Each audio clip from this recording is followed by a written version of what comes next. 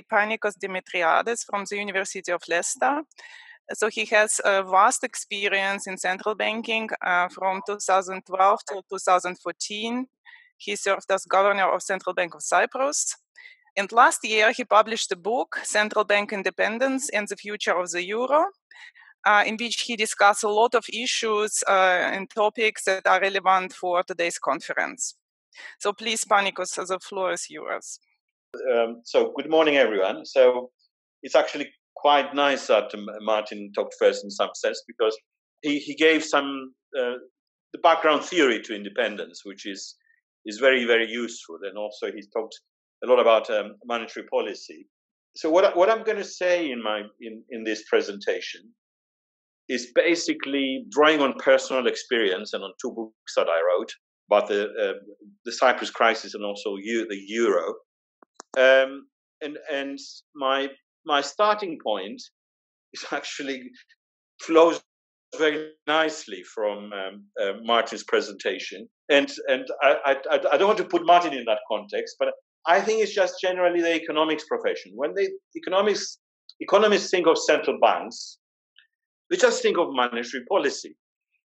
Okay, and I think that that is important, of course, but that is not the only thing that central bank central banks do. There are many other functions that central banks do, and in fact, what we've seen during the crisis is that those functions increased. So the scope of what central banks are doing increased. Of course, everyone knows that central banks do lender of last resort in crisis, uh, although central banks themselves initially had forgotten how to. but they did that during the crisis. And of course, everyone knows that they issue and manage the currency. And that's not just, you know, sort of producing the notes, destroying them when they're when they're finished, but it's also oversight over payment systems. And payment systems are kind of important during crisis. Now, more recent, um, well, sort of some, some central banks were had responsibility for microprudential supervision for a long time. Uh, some didn't and acquired it during the crisis. But also macroprudential regulation, which is a fairly new uh, sort of uh, responsibility. But on top of that, we also have bank resolution now, right? So when banks are failing or about to fail, more often than not, it is the national central bank that has to deal with it, right? And this sort of this sort of thing comes becomes very important during crisis. Now, one thing that hardly anyone has thought of, right? And I am astonished actually, given all this that is going on in the world, is anti-money laundering, right? A lot of central banks in the euro area have responsibilities over anti-money laundering. Now, what happens during crisis is you get some interactions between all these functions. And what happens during crisis is that, well, people remember that independence, well, the independence of central banks, yes, it does apply to monetary policy very, very clearly, but it is not at all clear whether or the extent to which it applies to other functions. So, for example, anti money laundering supervision is, is, is a very, very important function. And of course, it, in my view, it has to be covered by the same independent safeguards, but in practice, it isn't. All right, so let me just show you a table. Go to the next slide, please. Oh, um, my goodness. So my next slide is Euro area central bank responsibilities. I'm not sure you have that. Um, yeah, it's the previous one, please. It's slide number three. Three. Oh, there it is. Okay. So there it is. Okay. So that's just a, a snapshot of what we have at the minute. And you see a lot of central banks have banking supervision responsibilities. That's in the euro, um, um, in the euro area. And then a lot of them have bank resolution responsibilities. And again, a lot have AML responsibilities. And in Italy, they also have responsibilities over the financial intelligence unit. The financial intelligence unit is also part of the anti-money laundering sort of framework, but it's it's the unit that investigates and sometimes has investigates sort of violations of the law, and sometimes has um, uh, criminal sort of um, uh, powers. So in, in Banca d'Italia, they also have that. Um, the interesting thing is that the central banks um, with just monetary policy responsibilities are the Bundesbank, of course, but also a few others. Um, Austria, Estonia, Finland, Latvia, Luxembourg, and Malta. But they're a minority, only seven central banks. So, can we go to the next slide, please? Okay. So, during the crisis, we have had mission creep for, for sure. Monetary policy itself, the scope of it expanded. And I like the way that Martin explained that, that, you know, ECB was a bit late in that. Um, and and I, I, agree with him that it was perhaps to do with the, the, the, the political pressures. Um, so eventually, did, the ECB did do whatever it takes. In fact, in some sense, arguably, it started doing whatever it takes under Trichet, but, but, but also rather secretly with the SMP. The SMP, the Sec- uh, Securities Markets Program, started before Draghi, and it involved buying uh, bonds in secondary markets of stressed countries. So they were closing the yields, right, before Draghi, and before Draghi said they whatever it takes. And of course, in 2012, we have the the, the famous phrase by, by Mario Draghi, whatever it takes, within our mandate, of course, to preserve the euro. And um, a lot of things happened. People associated that with OMT, but I, I think that's just too narrow. Uh, one of the things that um, the euro system did was to provide liquidity support to banks, lender of last resort. And the euro system did plenty of that. And you might think that um, that's just sort of standard. But in the euro area in particular, it had pol- strong political connotations. It was perceived as a mechanism of coercion by the ECB. There was three countries in which that, that happened. One was Ireland, the other one was, was Cyprus, and the, the third one was Greece. So in all these three countries, at critical times, um, the politicians in these countries perceived the withdrawal of liquidity support as a mechanism of coercion to get them to agree to uh, conditionality and programs, right? So that kind of politicized the euro system. And then, of course, resolution powers. These were unprecedented powers that you could go in and impose losses on investors through bail-in, restructure banks, um, sort of uh, sell parts of banks to other banks, etc. So these are unprecedented powers. They're, they are important powers to have during crisis, but they don't come without without consequences. Another another um, um, function that the ECB did, which frankly it doesn't really seem to have much of a legal grounding, was that it became part of the troika in program countries, right? So had the Commission, the IMF, and the ECB being part of the troika. Um, Post crisis, uh, central banks acquired even more powers. Can we move a slide, please? Go. Okay. And even in the UK, we have changes banking supervision goes from the FSA to the Bank of England, and bank resolution is now within the Bank of England. Hardly anyone talks about it, but it is there, and it's very important. They're doing the resolution planning. Um, in Europe, we had the establishment of the single supervisory mechanism within the ECB to supervise all banks in the euro area. Uh, particularly the systemic banks are or 120 banks are supervised directly but interestingly, anti money laundering supervisions has remained the responsibility of national authorities. So they supervise everything other than anti money laundering. Um, and then we have these uh, uh, resolution responsibilities that about half of Eurosystem central banks have. So you've got about half of the NCBs in the Eurosystem having a lot of powers.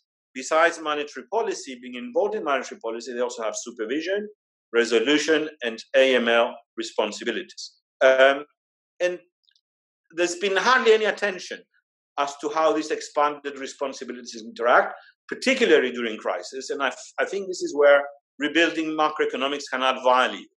You can encourage, you can call on this or do some research on this. I think that would be important. Can we move to the next slide, please? Okay, so whatever it takes was great. It has preserved the euro, but it did have some unintended consequences. And the unintended consequences relate to that mission creep that I outlined. So there have been questions of legitimacy, there have been questions of accountability, there have been questions of transparency, and inevitably, it has made the euro system as a whole more political and more politicized. And that's why we now have question marks over independence. How do we move forward, or should they be independent? I mean, it, the role of the ECB in the Troika came under a lot of criticism. Um, oh, please stay on the same slide. S- slide six. Slide six, please. I haven't finished on slide six. okay. Um, so the the other thing that happened during the crisis, with whatever it takes, is just people started thinking that the ECBs and other central banks are the only game in town, and that has two consequences, political again. One is kind of creates moral hazard for governments not to act, not to do the right thing, because the central banks will do it for us. But also, the, the flip side of that coin is that governments now have a convenient scapegoat when things go wrong. Oh, central banks didn't do enough. Some some governments say they didn't do. The ECB didn't do enough. Italians may have said that. Germans might say, oh, they did too much, right? And that's why we have all these problems. So, you know, by through all this, whatever it takes, I think central banks have become um, sort of more entangled in all these political um, controversies. And of course, markets themselves um, now are testing Madame Lagarde's commitment because you have a change of leadership. Whatever it takes was sort of associated with Mario Draghi, although I would argue it wasn't just Mario Draghi, it was everyone in the ECB and the whole of the euro system, basically. But Mario managed to get a lot of the credit for it, right? Others got just the toxic consequences from it. But Mario got the credit very nicely. Um, so they're now testing, inevitably, Madame Lagarde's commitment. And of course, um, I'm sure it's, there, um, whatever she has said or didn't say very well in the last uh, press conference. Um, okay, so I, I think that uh, I give examples in my books um, of erosion of national central bank independence as a result of this. Okay, can we move a slide, please? So collateral damage. So I don't need to say very much on independence, but one thing I, I should say here is that obviously the crisis tested the independence safeguards to its limits. And I, I, my conclusion is that those safeguards did not work well if you take that the euro area has 19, 19 countries, right? Three central bank governors resigned before their term, and they are, besides me, Boštjan Jazbec and Joseph Makúch. People don't hear much about Joseph Makúch. They heard about Boštjan, but they were all these three cases, I would argue, had to do with political pressures. Latvia was another case, um, a very different one. Nevertheless, the governor was suspended for about one and a half year by um, decision of one judge. And I would argue that the commission did very little to uphold central bank independence. So it allowed it basically the independence of the central bank to be eroded. Eroded. Can I move a slide, please? Okay. So this is a commercial break. This is advertising my first book. If you want to know more about how the independence of the Central Bank of Cyprus was eroded, it's all in there, and it's uh, told in a, um, in the first 12 chapters as a sort of political and economic thriller. But the bottom line is that number one, we provided ELA, right, and it was a lifeline, right, and the politicians were very happy with that. But then afterwards, afterwards, they said because they the Troika used it in some sense as um, not a blackmail. I wouldn't describe it as blackmail, but that's how it was perceived. If you don't agree to this program, then the ECB will have to withdraw this liquidity. And of course, inevitably, what does it mean? You cannot reopen your banking system unless you reopen with another currency. So it was perceived by the local politicians in Cyprus that we gave the ECB the weapon of, of blackmail, right? And similar sentiments were in Ireland um, when they went into their first program, and in Greece, and I think Yanis Varoufakis said a lot about it. Um, now, that wasn't the only thing. We were the resolution authority. In fact, I didn't want to be the resolution authority because I could see what was coming. And, and of course, all it did was to implement the political agreement at Eurogroup. But we became a convenient scapegoat because when we are imposing losses on shareholders, bondholders, and even uninsured depositors, you cannot imagine how it is like. I don't think anyone can imagine how it is like. People who lose money, whatever you call them, no matter how sensible they are in normal times, they go wild, they go crazy, and they use all the political levers they have to uh, to do that. Um, so that's that's that's happened. then then another thing that happened once we, we, we bailed in the big depositors, it turned out to be Russian PEPs, politically exposed persons, former members of the Duma, current members of the Duma, ministers, people connected to Mr. Putin. And moreover, some of them were connected to the Cypriot politicians. It's not a surprise how they got all that money into Cyprus. They were they, they had political backers, right, to get the money in. And one of them was the president's law firm, right? So as a result of all this, there was toxic political fallout. And it wasn't just they put pressure on me to resign, they changed the law, right? They changed the law of the central bank, notwithstanding an ECB legal opinion which said that if you do this, you're destroying not just the independence of the central bank, but its decision making process.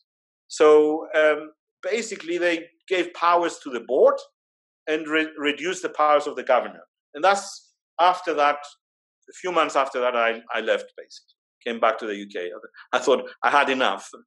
So, can you move a slide, please? Because you might say now, it's, oh, Cyprus, who cares about Cyprus, right? It's just one small country in the Mediterranean, Eastern Mediterranean, who cares? Well, I would argue you should. Because number one, uh, central bank independence erosion is contagious. And in Slove- Slovenia, what happened was pretty much similar to Cyprus. In, in fact, um, um, some people think that they, cop- they, they, copied what was happening in Cyprus. And, uh, and, and um, Boštjan Jazbec eventually re- resigned before the end of his term. And it had to do with bailing in bondholders in the two failing uh, banks. And then we have the Latvia example. Okay, can we move, please, a slide? Just the worst time for them to be doing work outside, but I'm sorry about that. I hope you can't hear much of it. So, was it just an issue of enforcement? I would argue no. It wasn't just the Commission not doing enough. I think it's also a question of legal interpretation. Because if you start talking to lawyers, and I've talked to a lot of lawyers on this, um, you realize that the independence safeguards at least when they're put into the treaty, had monetary policy in mind, right? So although it does mention other tasks, um, those other tasks are a little bit of a gray area. And the ECB chose to, on that, to go on its shell and, and say that actually our independence is to do with monetary policy, is not to do with all these other things. And then my question is, then why do we do resolution? Why do supervision if that's the case, right? Um, so, if governments are determined to undermine and control central banks, the national central banks I'm talking about, they can do so by capturing the boards and by attacking the central banks on all these other tasks supervision and resolution. Can we go, please? Another slide. And of course, you might say, okay, it's Cyprus, it's Slovenia, it's Latvia, maybe Slovakia, um, etc. Again, you know, maybe I'm not politically correct, even referring to these countries as periphery, but um, so be it. So does it matter? Um, well, I think it does matter. One reason is that others are watching and they may be changing their behavior. I think that, and that's my own personal interpretation, if you look at what happened two years ago um, with the banks failing in Italy and the banks failing in Spain, I was perplexed by the, the fact that the Banca d'Italia aligned itself completely with the Italian government during that period and was arguing for the protection of retail investors. That was, there's a BRRD, um, and the BRRD basically, the, the, strict application of it meant they should have they should have imposed losses on those on on those uh, so-called um, investors, but they didn't, and they managed to avoid it. So I think that others may be changing their behavior, and of course that's very hard to detect. But it could mean that next time we are in a in a crisis, the Eurosystem central banks may do what governments want them to do rather than anything else. So it could be that the governing council eventually becomes a cacophony of national interests. And can we go down, please? I think more importantly, money laundering, right? And the anti money laundering responsibilities. Because when dirty money enters um, the single market, it can travel freely. We've had a lot of mo- money laundering scandals recently, and this is a, a, a, page from the Danske scandal, just to show how interconnected the whole system is. So it's not just Estonia. The money comes in from where it comes in, uh, um, and and and it just is spread around. It can cause financial instability, it can cause uh, reputational damage, but it can also have political motives, right? Modern money laundering can have political motives, and in the United States, at least, they're very, very clear about what the political motives are, and they have to do with destabilizing Western democracies, right? So that, uh, whether you believe it or not, you have to accept that money laundering can destabilize countries. There are people who believe that even the Brexit, what happened in, in the UK, um, had to do with funding um, of the Brexit campaign, but also funding of the Tory party by um, Russian money. So whether you believe that or not, it's out there. The jury's out there. But I think that anti-money laundering implementation at the minute is at the level of the national member states. So any weaknesses you get in in the smaller countries um, will matter. Okay. Can we move, please? One more slide. And this is the AML supervision of banks in the EU. And you can see that that's the EU now, not the, just the euro area. Um, more often than not, it is the central banks that do it, right? So national central banks have this responsibility. Sometimes there are separate financial services, um, uh, financial service, contact authority, etc and and sometimes they coincide with the financial intelligence. Uh, so that's a snapshot of what goes on in the EU. Uh, go next slide, please. Um, okay, so there have been proposals to strengthen uh, AML in Europe, and there's been a proposal by the European Commission and a proposal by six member states uh, to create a Europe. Both are kind of similar.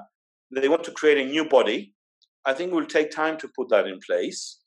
Um, the European Commission wanted to give more powers to the EBA. The interesting thing is that they they all now re- recognize the limited resources and also the possibility of capture, but they nevertheless continue to rely on the national authorities. Um, there is an expectation that they will sort of intervene when the national supervisors are not doing the right job. But I'm not entirely sure how that, that can happen. And I think that, that those proposals address the symptoms, but they do not address the cause. And my proposals that are coming up next will address the causes of the erosion of central bank independence in the euro area. So they're broader, but they would also address AML, right? Um, can we go to the next slide, please? So what I'm suggesting is that First of all, hand over AML powers to the single supervisory mechanism. Some people say they already have them, but it's not very clear. So make it absolutely clear that they have them so they can intervene. I think they have adequate levels of independence and they do have strong governance, notwithstanding some question marks of the independence of members of the SSB who are not uh, the, the ECB members, but they nevertheless are better than what we had before. Um, so that will only cover the euro area, of course. So I think that's when the EBA can play a role. The EBA is smaller, but it can deal with the remaining countries. I, I don't think that um, you solve the problem of AML with just a stronger supervisor. I think Europe needs an agency with prosecution powers to prosecute offenders. And there are these money laundering crimes are can only be visible sometimes at the at the higher level, at the federal level, because of their nature. So money, moving, dirty money moving through several jurisdictions. Can we go to the next slide, please? Okay. So at the national level, weaknesses can be addressed and should be addressed by strengthening the national central bank's independence, accountability, and governance. And um, what what hap- is happening now, and I've I've seen it in several countries, not just in Cyprus, is that governments have the power to appoint to central bank boards uh, bankers who wouldn't qualify to be on commercial bank boards according to fit and proper criteria. It is because fit and proper criteria for governance within the Eurosystem are not uniform, which is quite um, astonishing, really. So we have fit and proper criteria for commercial banks, but we do not have fit and proper criteria for the central bank boards, right? And that's because governments basically quietly know that, and they don't, they don't, and are not keen to have them. They can basically appoint their people, their cronies, often, right? I've seen a case where conflicted boards um, basically refuse to resource anti-money laundering properly, right? So the governor can go in and say, we need 25 people. That's what the IMF is telling us. And the board saying you must be crazy because you know you're wasting public resources. And it is, you have to remember the treaty protects the governors, it doesn't protect the boards. Uh, but the governors do not control the resources of the central banks. The governors themselves have to go to their boards, and it's their boards that decide the resourcing of the various functions right, of the central banks. So they have an important role to play, and we need to address that at the European level, I think. So I'm suggesting to introduce EU-wide fit and proper criteria for uh, national central bank boards, and of course for the Eurosystem as a whole. The same applies to executive board members of the ECB, right? So everyone should be. This is this is good governance, basically, for the whole of the system so that you don't see that oh there's that some sort of national central banks are being singled out. No, it's the whole of the euro system that that should uh, do this. Okay, can you go to the next slide, please? Okay, I have a few remarks on the current crisis, um, and obviously it's a very large both demand and supply shock. It's a big shock to the global economy. We'd like to think it's temporary. And we'd like to think that once all these restrictive measures would be lifted, we will see a quick turnaround. And of course, this assumes that the governments and the banks take the right actions, right actions, not just central banks. I think it's important to remember central banks work through the commercial banks, right? And central banks are doing all these relaxations.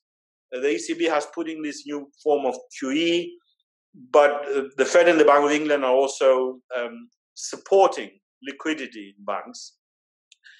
We really need to see the banks themselves taking action. And I am very concerned that the banks themselves are not um, fully yet up to speed with that. I mean, the jury is still out, but what I've seen so far is I haven't seen enough. I mean, I've, I've been on various banks' websites which say coronavirus support. You do two clicks and then you are lost in their website. It's not it doesn't seem to be enough. I think they should be doing a lot more to support households and firms because this is a much widespread, it's a very widespread crisis.